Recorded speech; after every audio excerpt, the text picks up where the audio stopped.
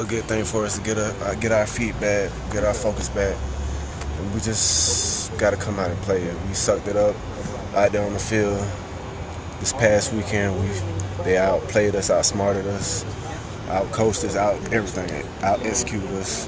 Just got to come out and play a big game. You seem still kind of dazed about it. I mean, as a guy who's been around here, how much did that just kind of you know knock you off your feet? I mean, it knocked us off our feet because we lost. We lost the game, but we got to find a way to bounce back, catch, catch amnesia, and just be focused on this week. This this is the game we got to play to get what we want. What do you do to to forget that quickly? How do you do that? Um, just just got to focus on Florida.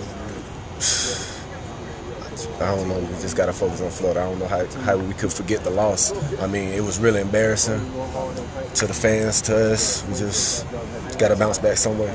What did you see today when you watched film from from your position and the guys around you? I mean, what what was going wrong? What can you do? To it was a lot of a lot of bus coverages, missed assignments, just lack of focus. We came out lackadaisical. wasn't a lot of energy, a lot of energy out there on the field just they just outplayed us from the get go of the game. In retrospect, was anybody looking ahead to Florida? They, I have, I can't say that because I can't answer for nobody but me on the team. But I was, I was focused on Arkansas because I wanted to win here on out.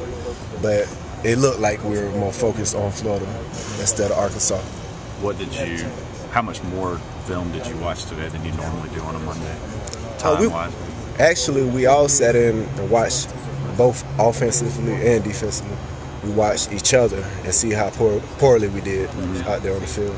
So it was almost like you were kind of being punished by having to watch it. Is that yeah. kind of what? To see just just to look at everybody's mistakes and our lack of focus. I think that was what he was trying to do, try to get us focused more better on this game. Did you walk away from that feeling any differently about it, or having learned more about what happened Saturday, watching both sides of the ball? Um, did you kind of leave that meeting or that film session, you know, thinking any differently, learning anything? Just thinking we need to come out more focused, energized, and more prepared for this game. So that's the first time you've done that. Y'all done that as a team since you've been here. Yes, sir. First time I actually sat in on an offensive meeting, and I'm pretty sure it's the first time they sat in on a defensive meeting. How, how does uh, all the secondary members in the in the Spurs meeting together change things? Uh, it changed things because most of the time we're not on the same page. We get different, different coaching from different coaches, and they tell us different things to do, and we're basically not on the same page. So, with us being in, with sitting in with each other, get us more prepared, and we we know what to do. Is that something that could help? Yes, I, I did last week. But. Yeah, I don't think it helped last week, but I, like I said, it was lack of focus. We're gonna be more focused this week. Guarantee you that. Do you know how that came about? Did y'all just show up at one meeting at the same time, and, and y'all were there, or did y'all suggest it, or, or what? Actually, I think that Coach Spurrier suggested it, and I think it, I think it was a good, a positive thing for the Spurs and the DBs. So I think we will we'll be more prepared during the game. Is uh, Coach Beamer still coaching your positions though? It's yes. just the fact that both coaches are in the. They're both helping, so there's a lot of coaching going on starting out November with a loss. Is there any here we go again, given his historically slow finishes here, or do y'all do y'all think about that at all?